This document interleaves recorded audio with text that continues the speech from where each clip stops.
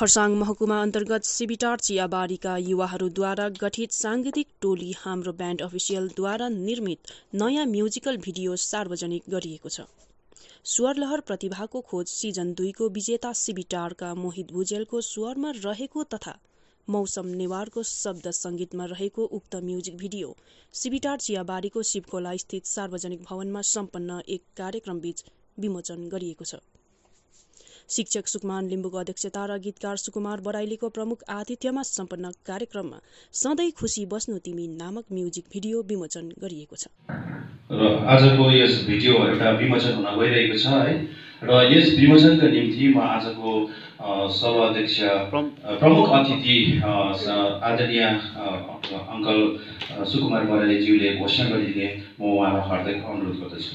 सेमिटारबाट बनिएको यो प्रथम अडियो भिडियो यहाँ लोकार्पण भएको म घोषणा गर्दछु र आजबाट यो भिडियो तपाईँहरू युट्युब च्यानल र तपाईँहरू विभिन्न च्यानलहरू मार्फत तपाईँलाई देख्न सक्दछ र हाम्रो जति पनि हाम्रा भाइ बहिनीहरू छन् जसले यो यति सफल कार्यक्रम गर्ने एउटा उहाँले जुन चाहिँ एउटा सोच राखे उहाँहरूलाई पनि म धन्यवाद टक्राउँछु धन्यवाद। समयलाई नष्ट गरिरहेको छ नचलाउनु भन्ने कुरो होइन।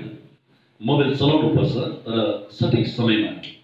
आज नानीहरू मोबाइल भेटेर खाना खाँदैन। मेरो पनि नाति त्यस्तै छ म उसलाई हटाउने चेष्टा गर्दैछु तर पनि उहाँ अलिक जबरजस्ती गर्छ नानीहरू। तर बिस्तारै यो कुरोबाट हामीले पन्छाउँदै जानुपर्छ। र साहित्य सङ्गीत भन्ने कुरो समाजको एउटा दर्पण हो। यसलाई हामीले जगेरा गर्नुपर्छ। र भोलिको दिनमा हामीले साहित्य सङ्गीत नाट्य खेलकुदलाई संरक्षण गर्न सके। यसको निम्ति हामीले काम गर्न सके।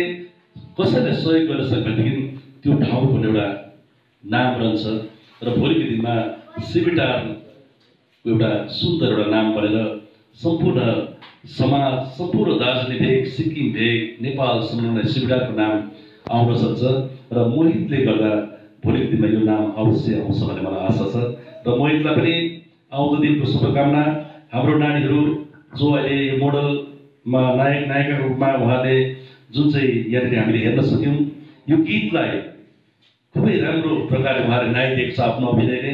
सिबिटाको यो सुन्दर मनोरम दृश्यलाई यो युट्युब मार्फत अन्य ठाउँमा जाँदाखेरि सायद भोलिको दिनमा चलचित्र क्षेत्रका निर्देशकहरू पनि यो युट्युबको यो भिजुअल देखेर उहाँहरू यहाँनिर सुटिङमा आउन सक्छ।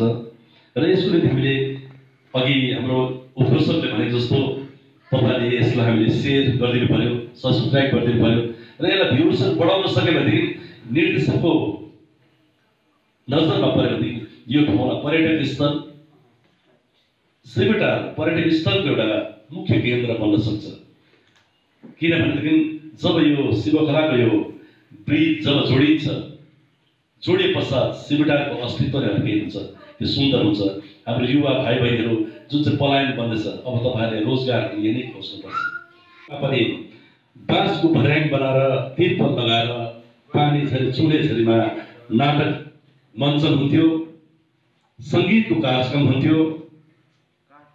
उहाँहरूलाई म नमन गर्न चाहन्छु मात्र होइन। तर सम्पूर्ण शिवटारको एउटा शिरलाई एउटा उच्च गरेको छ मोहितले। र शिवटार मान्छेले एउटा गर्व गर्नुपर्छ र मोहितको निम्ति सहयोगीहरूको हातहरू बढाउनुपर्छ। मोहितलाई शिवटार यो भ्याली दार्जिलिङमा मात्र होइन उहाँलाई नेपालसम्म पुर्याउने सिमिटार पारिसकेको त्यो सोच हुन्छ। एउटा कलाकारले त्यो ठाउँको सम्पूर्ण हुन सकौँ भन्ने म कामना गर्दछु। र मोहितको प्रथम सिजनमा महानदीमा जति बेला अडिसन भए मैले मोहितलाई चिन्न सकेको थिइनँ। मोहितको गीत सुनेर म मात्र होइन जजदेखि लिएर सम्पूर्ण त्यहाँ मान्दिकमा को दर्शकहरू मुख दर्शक भनेर हेरेका थिए मोहितलाई। हामी मोहितलाई हेरेको हेरेकै भनेको थियौँ।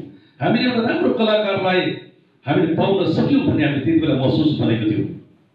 तर अभाग्यवश उहाँ प्रथम सिजनमा दोस्रो हुनुभयो तर उहाँले मोहितले छोडेन। मोहितले अगाडि बढ्ने आफ्नो उत्साह आफ्नो चमकलाई यथावत राखे र मोहित विनर बन्न सक्यो। सेवटा यस्तो ठाउँ थियो जो म हप्तामा शनिबार चाहिँ एकदमै जोसिलो किसन दाईहरूसँग हामी हामी अलिकति उहाँहरू अलिक जुनियर भयो भने हामी उहाँहरू सँगसँगै हिँड्थ्यौँ किसन दाई राम्रो एउटा फुटबल प्लेयर पनि हो र किसन हो। त्यस्ता खेलाडी पनि हामीले सुविधाबाट जन्माउन सक्यौँ किसन दाई जस्तो। किरण राई जस्तो दाजु आज सिक्किममा भए पनि उहाँ खुबै राम्रा गोलकिपर थिए। सिमेन्टारलाई किरण राई ज्यूले पनि खेलकुद